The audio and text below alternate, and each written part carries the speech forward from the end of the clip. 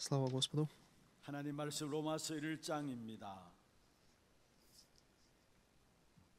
로마서 Слово 1장 на сегодня 2절에서 это 4절 말씀입니다. Римлянам 1 глава, 2, 4 стихи. 우리가 찬음송으로 합독을 하도록 하겠습니다. Вместе 이 прочитаем. 복음은 하나님이 선지자들을 Это 통하여 Евангелие, которое 그의 Бог 아들에 관하여 прежде 성경에 обещал 미리 через 약속하신 пророков 것이라. своих в Святых Писаниях о Сыне Своем, который родился от семени Давидова по плоти и открылся Сыном Божьим в силе по Духу Святыни через воскресение из мертвых о Иисусе Христе, Господе нашем. Аминь.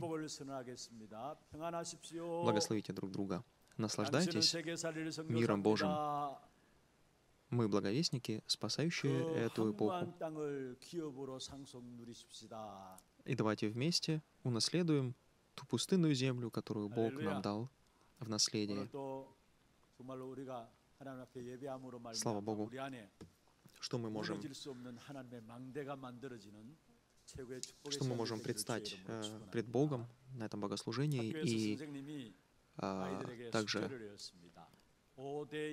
наслаждаться э, силой Евангелия и восстановить эту силу Евангелия.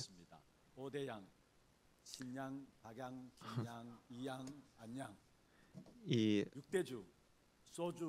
случай был интересный, так один э, в Корее э, на корейском языке, когда, так как это, в основном это все-таки исходит больше, связано с э, можно сказать, корейский язык, уже как слова сейчас современные, это э, король Седжон, он сделал алфавит, но до этого они использовали как китайские иероглифы. И э, поэтому иногда получается одинаковое созв- созвучие, э, и можно немножко неправильно понять. Ну, в зависимости от того, какое содержание ты имеешь внутри себя, то ты можешь э, неправильно понимать. И вот э, ребенок один, у него задание было написать э, 5 океанов и 6 континентов. И на корейском это звучит как э, Тэянг и э, Тэчу. Континент это Тэчу. Но э, это очень схоже, Тэянг это было схоже с тем, что как, э, больш... так, известные большие фамилии, семейные линии в Корее. Поэтому ребенок написал э, в домашнем задании Ким, Ким, э, Ли, Че, Пак и Ан. И в отношении шести, шести континентов он подумал, что это как шесть напитков, алкогольных напитков. Поэтому в корейском языке есть, э, например, там э, есть мекчу, есть соджу, есть э, пододжу.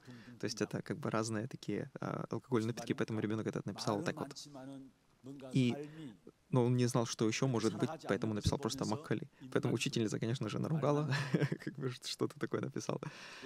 И когда, придя домой, то отец э, э, подумал, прочитал, что неправильно написал, и оценка тогда плохая, и сказал, «Ах, что ж ты написал? Как, какой же Макули? Надо же Джу». Поэтому тут есть а, так чу Это надо было написать. То есть еще один алкогольный напиток. Ну, то есть, хоть это как бы такая как шутка, но это не шутка, это такое случалось тоже. То есть все зависит а, от того, что внутри содержания какое. Потому что слишком, даже отец, мы видим, а, ребенка этого, он слишком был уверен в чем-то том, что вообще абсолютно неправильно, поэтому как итог вообще в совершенно другом направлении пошел. Поэтому э, люди в отношении Евангелия, вот, тоже смотрите, в зависимости от того, какое содержание внутри есть нас, э, судят и о Евангелии тоже основываясь на своем уровне, обстоятельствах. И э, мы, что мы можем видеть в отношении Э, верующих людей даже, которые ходят в церковь. Посмотрите, вот э, когда мы на местах действия, о чем говорят вообще неверующие люди в отношении христиан. Почему они не хотят идти в церковь иногда? Потому что они говорят, что верующие люди, которые верят, люди, которые верят в Иисуса, это те люди, которые даже если они тонут будут, их рты не утонут, рты останутся на поверхности воды. Ну, это такая как э, поговорка, не, не знаю, правильно сказать, это в, корейском языке есть, что это означает, что а, они верующие, а, а, как о верующих в Иисуса людях говорят, что они много слишком разговаривают. И при этом ничего не делают, то есть не берут ответственность за свою жизнь, просто говорят, говорят, говорят.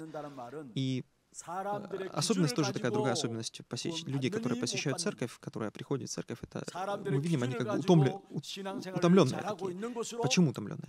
Они идут в церковь и уже с мыслями о том, что все равно их проблемы решены не будут, и от... молитвы не будут отвечены, и просто не, не хотя, но все равно идут в церковь.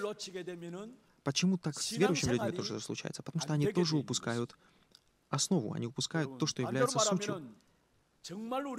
И неверующие даже люди, которые даже не, не так прям а, негативно смотрят на например, верующих или на церковь, или на христианство, они просто видят Иисуса Христа как одного из великих таких святых.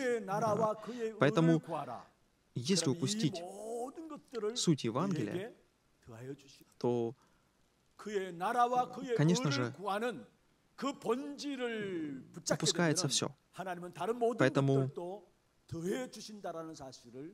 Просто человек может даже жить, э, ходя в церковь, но все равно держаться каких-то таких человеческих стандартов и всего остального. Поэтому очень важно, э, чтобы мы не упускали суть. Потому что если упустить суть Евангелия, то упускается и спасение. Э, и человек не может наслаждаться и жить жизнью веры по-настоящему. Есть, если постоянно входить, интересоваться всем тем, что явля... не является сутью, то а, в итоге в жизни все равно будет пустота. Поэтому прежде всего нам нужно искать а, того, что действительно является Царством Божьим. Поэтому сказано в Матфея 6 глава 33 стих, «Ищите прежде Царство Божьего, и все остальные вещи, они вам приложатся». Поэтому э, нам нужно не беспокоиться и не думать о том, и не интересоваться теми, не интересоваться теми вещами, которые не являются сутью. Потому что если просто вот всем этим интересоваться, это все поверхностные вещи, не фундаментальные. И это просто как оболочка. И поэтому мы, следуя словам, словам людей, Э, мы будем волей-неволей становиться просто как выполнять то, что действительно угодно не Богу, а то, что желает дьявол. Потому что если мы не будем держаться за то, что является сутью, то в итоге все остальное, что не является сутью, это то, что мирское и то, что дьявол использует для того, чтобы людей еще дальше уводить от Бога. Если мы с вами также держимся не за суть и концентрируемся, ищем не того, что является действительно настоящей сутью, то что получается? то мы, получается, держимся за, не, не за то, что является Божьим, не то, что, не то, в чем Божье желание, не то, в чем Божий план находится. А если это не то, что в чем Божье желание, Божий план, то это что-то людское или то, что зачем стоит, то, зачем э, на фоне стоит дьявол и его желание. Поэтому,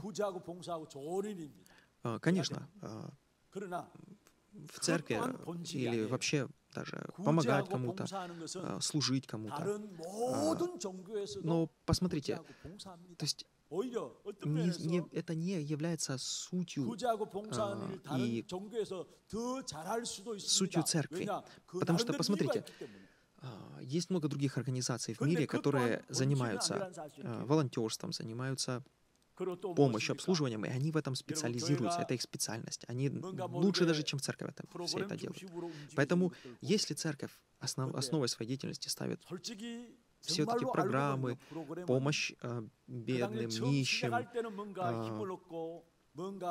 собирает пожертвования, все это, все этим, все, все это делает, и это есть их, их э, сутью и, то есть решение насущных проблем человечества то чем больше так проблем, чем больше так церковь будет этим заниматься, тем больше будут люди уставать. Потому что это... Потому что многие церкви, есть очень много церквей, которые их центром их деятельности являются именно вот эти все программы, социальные программы различные. Но тут очень, очень важно, смотрите, это не означает, что такие вещи не нужно делать. Но это опять-таки означает, что не это есть сутью э, служения церкви. Это все вспомогательное служение. Это не то, что полностью должно отбирать всю силу и всю энергию. Есть даже церкви, которые также очень сильно акцент ставят на изучение Библии. Но и само изучение Библии без сути, без Евангелия, без понимания также приводит к тому, что что мы видим? Это приводит к э, такому, как законничеству, к постоянному такому не действительно не живому, не, не настоящему тому образу жизни, которым Бог желает жить. Поэтому многие молодые люди в Корее, они покидают церковь, они не хотят ходить в церковь. Потому что это либо же постоянно какая-то волонтерская работа, либо же постоянно какое-то изучение Библии без действительно наслаждения Богом, без наслаждения силой Божьей. Неестественная получается какая-то жизнь такая. То есть э, люди не живут жизнью нормальной, они полностью а, по, как бы погружаются и пропадают внутри вот этого всего. То есть они не живут своей жизнью, они себя отдают людям, помощи людям, служению людям. И этим самым упускают также благословение своей семьи. Поэтому проблемы в семьях появляются также. То есть дети их уже потом не хотят ходить в церковь, не хотят верить в Бога, потому что они видят образ своих родителей, которые никогда дома, которых нету никогда дома, которые постоянно какие-то кому-то помогают, идут, а у себя дома не уделяют времени ни своим детям, ни а, и, и тут опять-таки тоже полностью, полностью от, отказаться от а, церкви, полностью только, только семья, только все. То есть это тоже тоже опять-таки неправильно. Тут суть в том, чтобы не своими силами это все стараться делать, не по своей мудрости, а действительно жить естественной настоящей жизнью в Евангелии, наслаждаться силой Божьей, знать знать суть, иметь эту э, истину, которая, которая является Евангелием. Истина и суть — это не что-то, что можно делать, не делать, иметь, не иметь.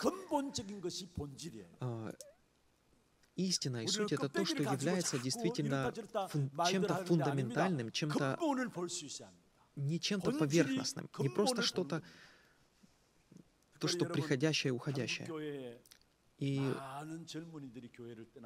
поэтому, поэтому мы видим, что проблема а, из-за того, что церкви не имеют этой истины, не имеют действительно не наслаждаются сутью Евангелия, не, не знают, не, по, по сути, получается, не понимают, не знают, не, не, не вкушают вот этой вот именно сути благой вести о том, что прощение есть уже в Евангелии, абсолютным, абсолютное прощение, вне зависимости от моих дел, что Бог уже совершенным образом совершил это спасение, мне лишь нужно наслаждаться благовестью в Иисусе Христе. То есть они постоянно живут вот таким вот, стараются жить какие-то добрые дела совершать, заслужить какое-то спасение, или уже законнически смотреть и судить друг друга. И из-за этого люди, молодые люди, э, подростки, они не хотят ходить в церковь, потому что их постоянно судят там, ограничивают во всем, осуждают. И они, это скучно им, и, и скучно в то же время, и они не видят смысла ни в чем. Поэтому давайте если то, что мы о чем сегодня говорим, в основном в сегодня слове, что если мы упускаем суть, то мы упускаем все. Поэтому я благословляю, чтобы вы не упустили суть, не упустили истину. Если упустить истину и суть, то упускается все. Но если держаться за истину, если быть внутри этой истины, то будет,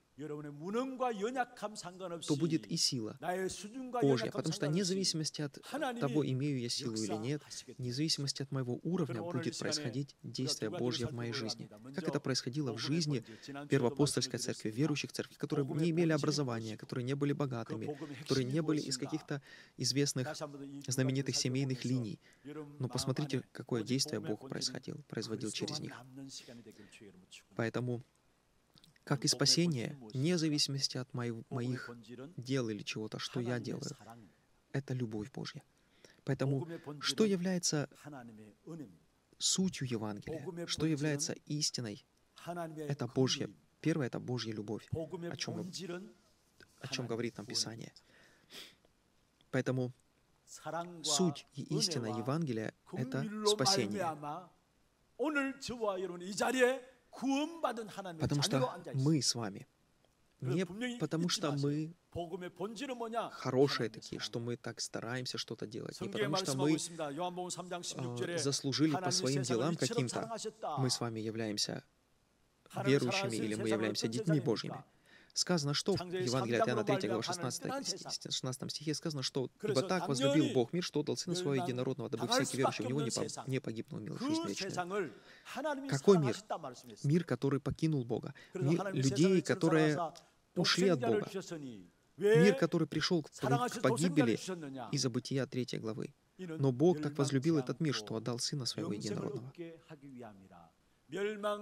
чтобы кто, чтобы любой человек, кто угодно, чтобы он ни сделал, кем бы он ни был, мог, поверив в Иисуса Христа, восстановить, восстановить а, восстановить себя как образ Божий, прийти к Богу. И посмотрите, 1 Иоанна, 4 глава, 9 стих. Что там сказано? «Любовь Божья к нам открылась в том, что Бог послал в мир единородного Своего Сына, чтобы мы получили жизнь через Него». В том любовь, что не мы возлюбили Бога, но Он возлюбил нас и послал Сына Своего в умилостивление за грехи наши. То есть, смотрите, до того, как мы еще поняли Бога, до того, как мы еще действительно начали любить Бога, потому что поняв, что Он любит нас, и Он простил нас, и Он принял нас, Он уже возлюбил нас. И Он уже отдал Сына в умилостивление за грехи наши. То есть Он уже нас возлюбил. Уже за, за наши грехи умер Христос. И уже за все грехи, которые мы делали, которые мы делаем, которые даже будем делать. Поэтому в этом есть суть любви Божьей. Не то, что мы любовь, возлюбили Бога, и поэтому Бог говорит, о, ну такой хороший, вы меня любите, поэтому я вас прощу. Нет. До того, как мы знали Бога, до того, как мы вообще даже могли понять о любви Божьей, Он уже нас такими, какими мы были, возлюбил. Не потому, что мы сейчас хорошие такие, стараемся э, угождать Богу, и Бог нас любит. Нет. Бог нас возлюбил любовью, когда мы еще даже и думать не думали о Боге. Поэтому Римлянам, 3 глава, посмотрите, 3 э, глава, 23-24 стих. Что говорит 24 стих? Что каким образом мы получили оправдание? Каким образом мы получили спасение, получили оправдание даром по благодати Его искупления во Христе Иисусе, которого Бог предложил в жертву милостивления в крови Его. Через веру мы оправдание получили. Поэтому эти места из Писания — это то, что говорит Библия. Это не, не, не наши слова, не мои слова, не человеческие слова. Это то, что Бог открыл в Писании — что спасение приходит даром по благодати через веру умилостив... умилостивительную жертву крови Иисуса Христа. Вот это есть благодать. По благодати мы спасены. Через веру это Божий дар. Безусловное спасение. Это не от моих усилий зависит. Это не от моего образа жизни зависит. Это не от, мо... от меня вообще. Это благодать Божья. Поэтому и послание к Ефесянам, что написал Павел, что по благодати мы спасены через веру. И это не от нас. Божий дар. Не отдел, не по делам нашим, чтобы никто не хвалился, что вот я такой вот хороший, я такой вот праведный, я вот столько всего сделал, поэтому Бог меня, Бог меня а, простил, и Бог мне дал спасение. Нет. Все вот эти дела веры, это уже потом приходит из любви к Богу, из благодарности к Богу, и из желания, чтобы другие люди получили спасение.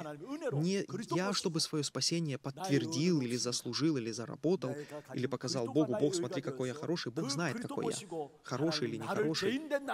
Бог знает, что мы грешники, что мы не можем Смотрите, своими силами, без Духа Божьего, мы ведь не можем быть действительно такими, какими Бог желает и видит нас. Мы своими силами не можем любить других людей, прощать любить других людей. Это лишь благодать Божья и дар Божий, Дух, плоды Духа Святого в нас. Поэтому не хвалитесь, когда вы кого-то можете простить, и не думайте, что если вы такие сострадательные, то это вы такие. Такие, но это через это плоды Духа Святого внутри нас. Поэтому и это не, это не мои дела. Это не я так вот своими делами заслуживаю спасения. Это уже через благодать Божью, которая приходит внутри нас. Поэтому это и не, можно, не могут засчитаться как мои дела, которые я сделал для того, чтобы Богу что-то показать и заслужить, заработать себе спасение. Нет. Совершение спасения, совершайте свое спасение в трепете, это не в этом суть заключается, что я еще не спасен, и мне нужно совершать.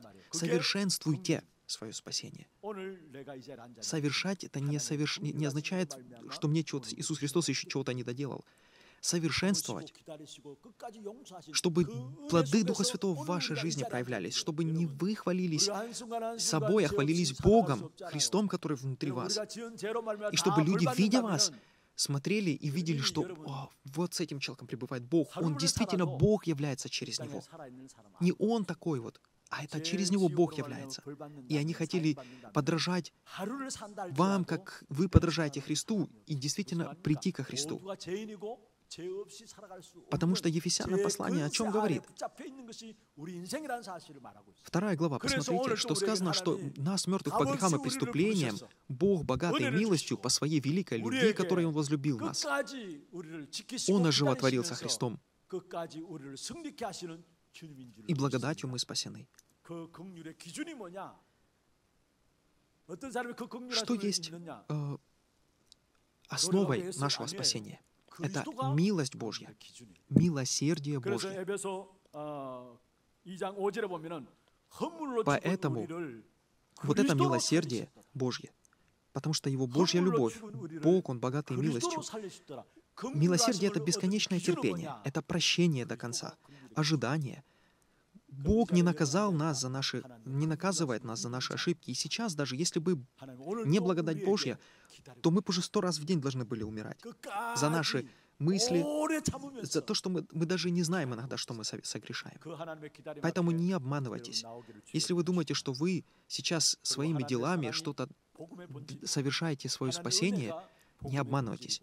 Мы в мыслях своих, даже не зная того, совершаем столько грехов, за которые, уже, за которые даже мы не знаем это, не осознаем это, мы совершаем грехи. И мы, получается, мы же не молимся за них, не, не просим за них прощения. Мы, конечно, говорим, Бог, который грехи я знаю или не знаю, но, но это же не, не, не в этом дело. Тут попросим мы за это или не попросим, Бог, Он милостив, и Он уже нас простил. Вот это и есть стандарт милосердия. И что сказано ведь? Смотрите, уже это совершено. В пятом стихе Ефесянам сказано, что нас, мертвых по преступлениям, Он уже оживотворился Христом. И в шестом стихе сказано, воскресил, уже воскресил с Ним и посадил на небесах во Христе Иисусе. То есть Бог у нас уже видит такими, Он уже там нас видит. Пока мы находимся на земле, это не для того, чтобы мы что-то доказали Богу. Это для того, чтобы мы могли донести другим людям эту благую весть. Для чего нас уже, Он уже нас спасает, уже наши имена на небесах записаны. Для того, чтобы в грядущих веках преизобильное богатство благодати Божьей могло быть явлено в благости к нам во Христе Иисусе. Люди не могут решить проблему греха своими собственными усилиями. Мы не можем оправдать себя, отделить себя от сатаны или от проклятий. Поэтому решение проблемы греха и проклятия — это только через Иисуса Христа. Восстановление образа Божьего, нас как образа Божьего, которым Бог нас сотворил. В Бытие 1 главе 27-28 стихе сказано, что мы образ Божий. То есть вот это восстановление возможно только через Иисуса Христа. Мы не можем своими силами быть праведными. Нам нужно, чтобы мы, мы так сотворены, что мы можем совершать благие дела только если Дух Божий внутри нас. Только когда мы являемся образом Божьим.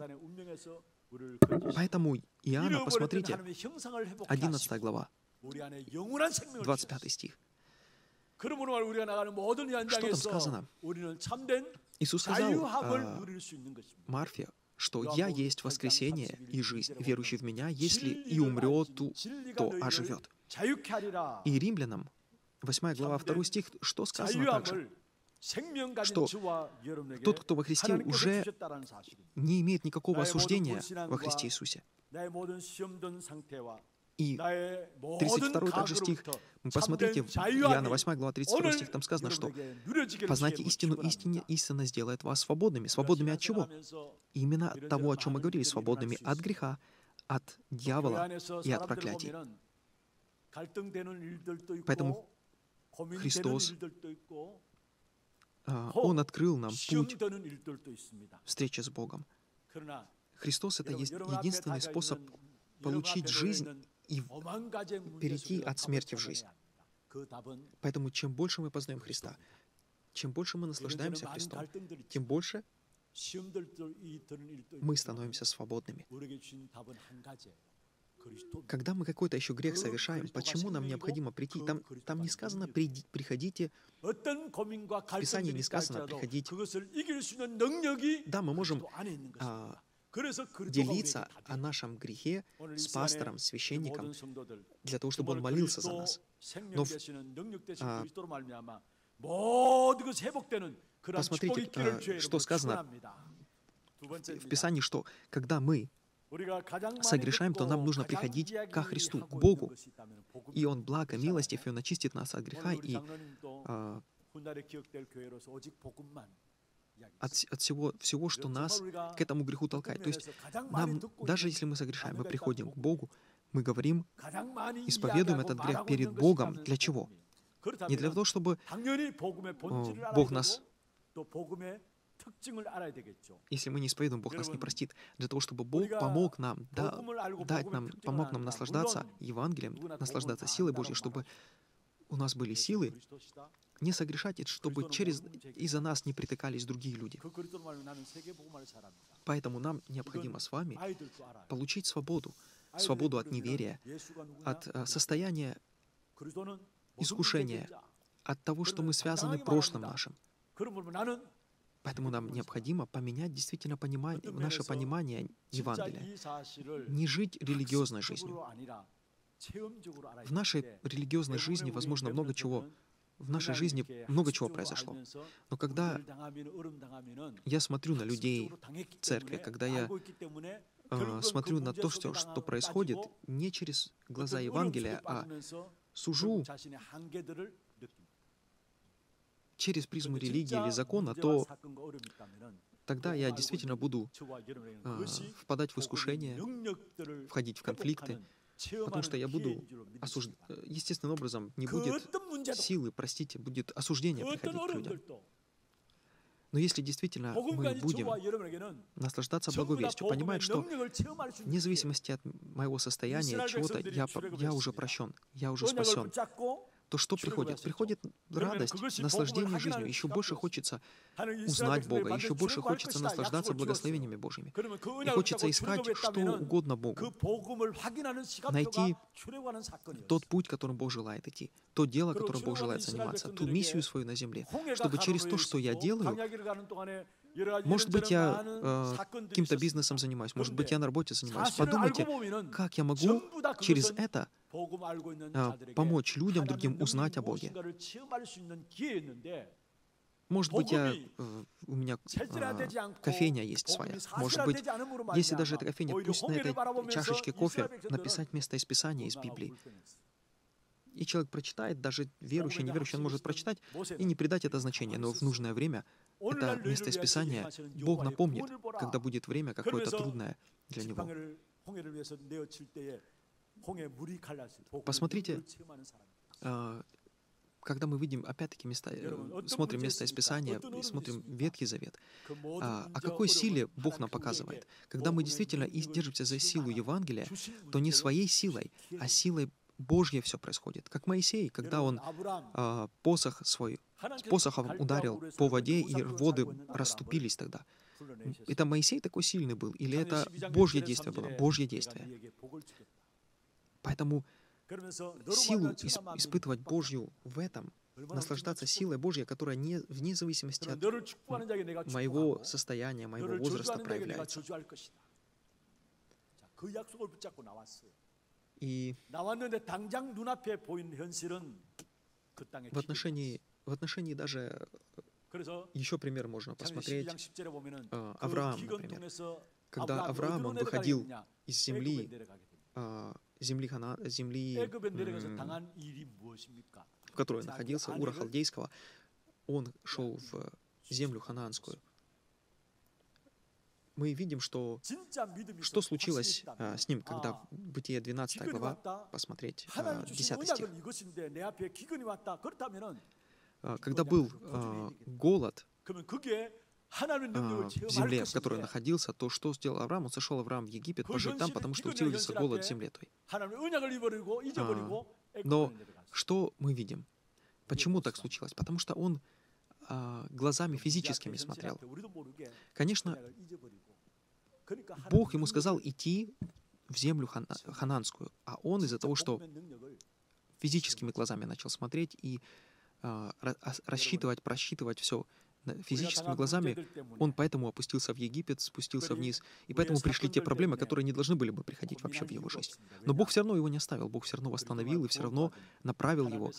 И он испытал... То есть этого могло бы бы не случиться, Конечно, через это он понял, что все равно Бог с ним, он еще больше утвердился в вере, но если бы он не пошел туда, то он бы даже в, пуст... даже в пустыне как мы видим дальше, Бог давал все, что необходимое. И Исаак, дальше мы видим, он, где бы, в каком месте ни находился, он выкапывал колодец, и была вода. А вода — это все, что нужно в пустыне. То есть Бог, Он бы по-другому бы благословил бы его. Но видим, что когда упускается истина, когда Авраам, он тогда упустил а, направление Божье, что нужно идти в хананскую землю, упустил истину Евангелия, то приходят проблемы, которые могли бы не приходить. Поэтому а, другой пример, если мы посмотрим в отношении Даниила, давайте. А, когда Даниил оказался а, в проблеме, какой проблеме? Это когда он молился три раза в день а, в направлении Иерусалима. за то, что он молился, и он не поклонялся а, царю тогда. Они наклеветали на него, и по закону необходимо было его бросить в ров со львами. Смотрите, молился ли Даниил о том, что «О, пусть э, Бог, спаси меня, не дай мне, чтобы меня бросили в этот ров со львами». Молился ли он о том, что Бог запретили вам там кушать, съесть меня, разорвать меня? Он об этом не молился. Почему? Потому что он уже за, наслаждался благословениями, которые исходят из той молитвы, которую он молился до этого. Он не переживал о том, что с ним что-то может случиться, а если даже случится, то это означает Божья воля. То есть он полностью совершенным образом доверял Богу. Он не боялся войти в кризис, не боялся войти, в, идти в проблему. Он как бы с верой бросал этому вызов, как и три друга, которые вошли в печь тогда. И они говорили, что мы верим, что Бог нас спасет. А даже если не спасет, мы все равно не поклонимся тебе. Не поклонимся этому истукану. Почему Даниил не боялся того, что его бросят в ров со львами? Потому что он знал, что через Бог что-то приготовил. Бог через это может показать царю, что, что является истиной. Когда Даниил три раза в день молился в направлении Иерусалима. Почему он молился, молился в направлении Иерусалима? Потому что он знал, что это земля, куда придет обещанный Богом Мессия, Христос. Поэтому в разуме, в сердце Даниила была уверенность. Поэтому, посмотрите, Библия — это не просто знание. Это Слово Божье — это не просто знание. Это убежденность, ув... уверенность в Слове Божьем, уверенность в обещаниях, обетованиях Божьих. Он знал заранее, он тогда понимал, что Бог призвал израильский народ для того, чтобы сохранить вот эту благую весть. То есть знание, понимание о том, что проблема человека — это не просто э, физи на физическом уровне находится. Это не просто того, что не хватает образования, это не просто то, что не хватает какой-то правильной идеологии государственной. Проблема человека — это то, что человек разделен с Богом, и что это нужно восстановить. И это восстановится, когда придет Христос. Поэтому он знал, держался этот завет. И даже среди проблемы у него была благодарность Богу, и он знал, что Бог вместе с ним. Посмотрите Иов даже, книгу Иова, правильно посмотреть, если на это. Смотрите, 10 детей его погибли, дом разрушился, всего, вообще абсолютно всего он лишился, что было. Хоть он был одним из самых богатых людей Востока на то время. И все тело в болезни находилось, с головы до ног, с головы до ног все в болезни и высмеивали все его. Но что сказал Иов тогда? Что Бог дал, Бог взял.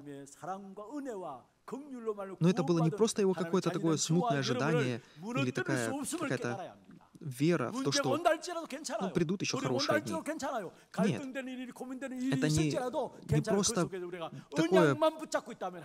Его, его вера в Бога еще больше утвердилась и открылась через э, все это то, что, через что он прошел, но он еще больше осознал Евангелие на тот момент, благую весть. Он, мы видим, если читаем Иова, то он говорит, что во плоти моей, моими глазами я узрю Господа. Бог восстановит из праха плоть мою. Он, мы видим через эти все места из Писания, что Бог, что Он понимал Евангелие, что Он понимал, что придет Христос, что будет воскресение мертвых, что придет Мессия, который восстановит восстановит его. То есть он понимал, что все то, что на земле сейчас происходит, это временное все. И богатство, и все, все, что бы ни было, это все временно. И плоть его даже, Бог новое тело ему даст. Поэтому его состояние, он, он не, прокля, не проклинал Господа, он не, а, не делал того, что даже ему жена говорила. Поэтому вот это семя, послание о семени жени, жены, э, то, что мы говорим, Бытие 3 глава 15 стих, который Бог дал, что семя жены сокрушит сатану в голову. Это то, э, та благовесть, которую то обещание, что Бог обещал послать Мессию, которое Бог дал Адаму, и это Адаму, который находился в состоянии уже духовной смерти. Он ему дал обещание, что придет Иисус, который придет а, Мессия, который решит эту проблему. Мессия, который придет на эту землю в теле человека, без первородного греха. Он придет для того, чтобы умереть за грех, как через одного Адама. Грех вошел в мир, и грехом смерти, так и через Иисуса жизнь будет дана всем человекам. Посмотрите, ведь мы же родились, мы же не делали чего-то плохого, мы же не родились и стали, и из-за того, что мы начали плохие дела делать, стали грешниками. Мы уже родились грешниками, потому что мы родились разделенными с Богом. И это не из-за нас, не наша вина, это потому что через Адама. Точно так же, поэтому Бог и оправдание дает нам. по вере в Иисуса Христа, потому что Иисус Христос пришел для того, чтобы взять все вот эти грехи людей, умереть за эти грехи, заплатить за грех. И поэтому через веру в Иисуса Христа, как через Адама, через его неверие, все люди вошли в грех и в смерть. Так и через Иисуса Христа, через веру в Него, мы входим в жизнь, и нам прощаются все наши грехи. И мы восстанавливаемся как образ Божий. Поэтому нам нужно рассматривать Библию не просто как литера... какую-то литературу, стихи, не просто как э, какие-то там стихотворения или поэзию Шекспира, может быть, даже. Нам нужно правильно смотреть. на Библию. Что такое Библия? Христос, Он пришел на эту землю. Это Бог, пришедший во плоти это, будучи э, Богом по сути своей, Он пришел, облегся в тело человеческое. И Он, а, как мы сегодня читали в Римлянам 4, 1 главе 4 стихе, Он пришел, а, Он, будучи по, родился от семени, то есть физически по, по плоти Он потомок Давида. как это и э, должно было быть, но он открылся Сыном Божьим в силе по Духу Святыни через воскресение из мертвых. То есть, смотрите, Христос сила, в чем вот именно тут сказано, что, смотрите еще раз, открылся Сыном Божьим в силе по Духу Святыни через воскресение из мертвых. То есть именно воскресение из мертвых это и было вот этой точкой победы над делами дьявола, победой над силой греха и смерти. Потому что вот суть Евангелия — это и есть Христос. А с, суть Христа именно в том и заключается, что в том, что Он своей смертью победил грех и своим воскресением дарует жизнь. Поэтому нам необходимо с вами жить по Евангелию, не религиозно. нет другого, никакой другой причины ходить в церковь, кроме как Христа, чтобы знать, узнавать больше Христа, понять больше, что такое Евангелие, и наслаждаться этим Евангелием. Поэтому Евангелие должно стать моим личным. не просто а, знание, как знание должно оставаться, но стать действительно моим личным.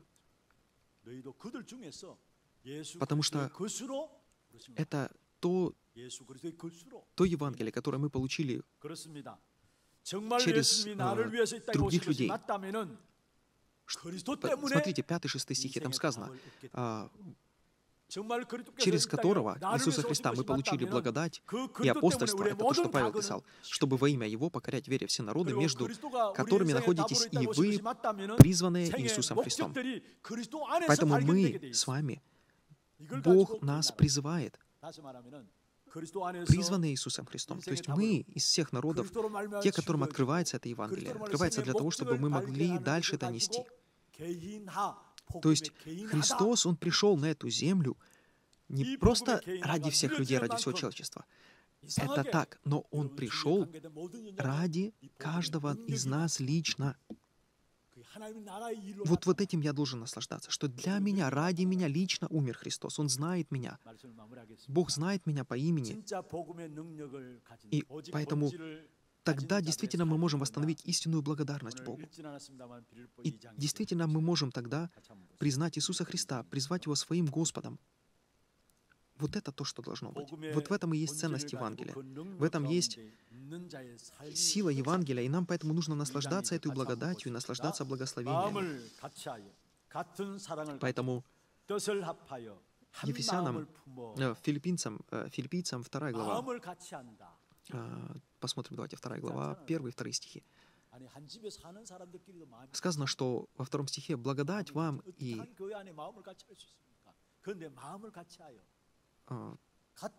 что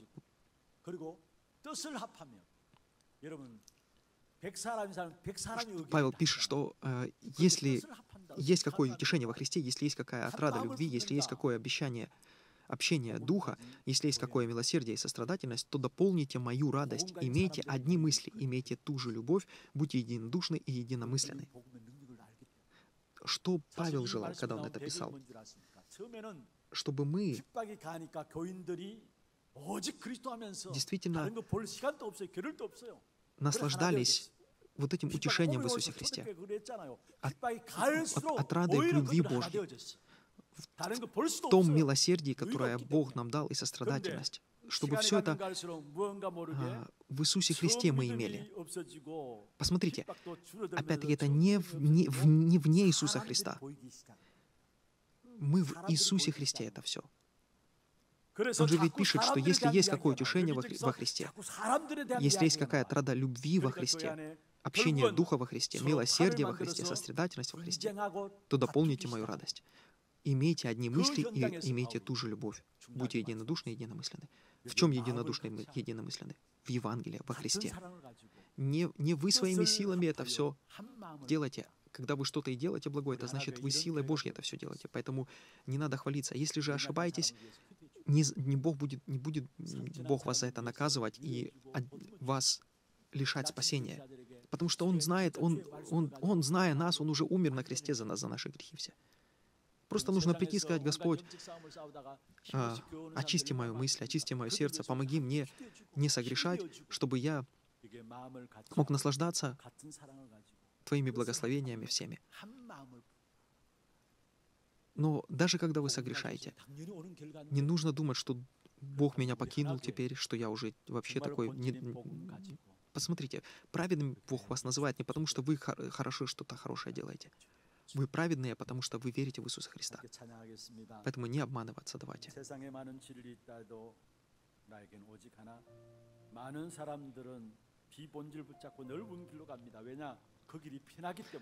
Прославление, которое сейчас будем мы петь, это говорит о том, что в, но, в мире много истин, которые люди думают, это истина. Но настоящая истина только одна. Только Иисус Христос. Пока мы будем также э, держаться, давайте за темой молитвы, когда мы будем прославлять, чтобы это в нашем сердце было. Давайте станем теми, кто